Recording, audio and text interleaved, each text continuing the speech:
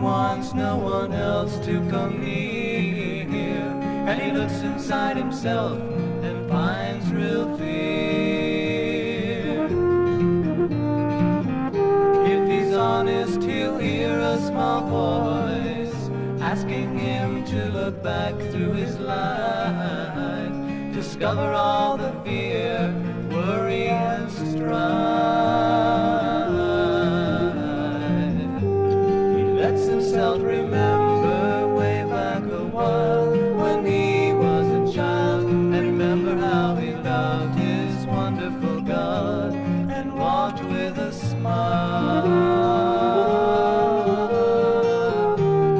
Does he know how far he has strayed? That he's tried to treat God as a toy, and he's lost his childhood peace, his trust and joy.